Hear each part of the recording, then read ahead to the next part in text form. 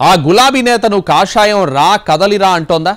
ఆయనకు కూడా లోలోపల వెళ్ళాలని పీకుతున్న చల్లకొచ్చి ముంత దాచే వైఖరి ప్రదర్శిస్తున్నారా? కేవలం పార్టీ మారడమే కాదు ఏకంగా ఎంపీ టికెట్ ఆఫర్ కూడా ఉన్న నాయకుడు ఎవరు? ఆయనకు తెలంగాణ బీజేపీ నాయకత్వానికి మధ్య జరుగుతున్న దోబూచులాటేంటి?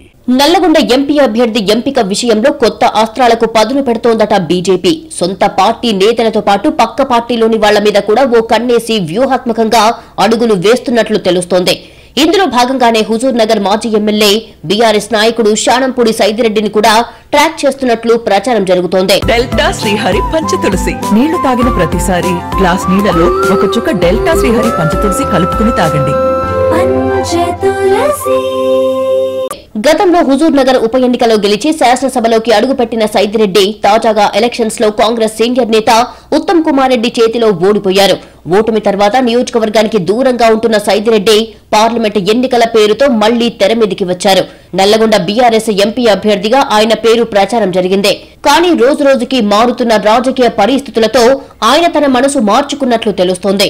ఓటమి తర్వాత నియోజకవర్గానికి దాదాపు దూరంగా ఉంటున్న సైదిరెడ్డి తాజాగా బీఆర్ఎస్ ప్రతిష్టాత్మకంగా చేపట్టిన మేడిగడ్డ టూర్కు కూడా వెళ్ళకపోవడం చర్చకు దారితీసిందే రాష్ట్ర స్థాయిలో పార్టీ చేపడుతున్న కార్యక్రమాలకు దూరంగానూ మాజీ మంత్రి జగదీష్ రెడ్డితో కూడా గ్యాప్ ఉండడంతో ఉమ్మడి నల్గొండ జిల్లాలో సమావేశాలకు కార్యక్రమాలకు శానంపూడి అంటిముట్టనట్లుగానే ఉంటున్నారు.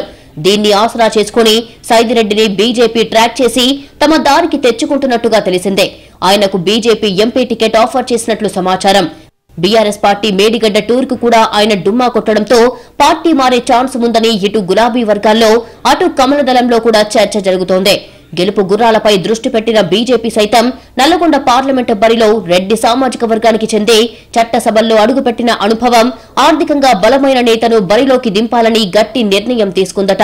ఈ క్రమంలోనే శానంపూడి సైదిరెడ్డి పేరును బీజేపీ టాప్ ప్రయారిటీలో పెట్టుకున్నట్టు చెబుతున్నారు పార్టీ నేతలు.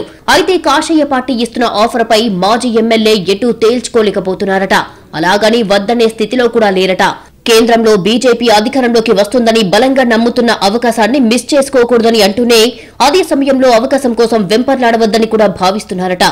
సైదిరెడ్డి పార్టీ మార్పు వ్యవహారం రెండు పార్టీలలో చర్చ జరుగుతుండగా ఆయన అధికారంలో ఉన్నప్పుడు విపక్ష పార్టీలకు చెందిన నేతలను సొంత పార్టీలో తన వ్యతిరేక వర్గాన్ని వేధింపులకు గురి చేసిన అంశాలను తెరపైకి తీసుకొస్తున్నారు కొందరు.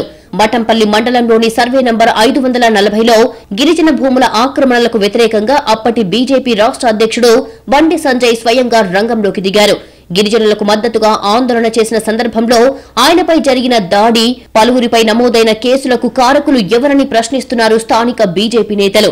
అయితే మారుతున్న పరిస్థితులకు అనుగుణంగా బీజేపీ పెద్దలు గతం గతహ అంటారా? లేక దాన్ని మనసులో ఉంచుకొని బ్రేకులేస్తారా ఈ వివాదాలతో సైదిరెడ్డి నిర్ణయం ఎలా ఉంటుందన్నది ఆసక్తికరంగా మారింది.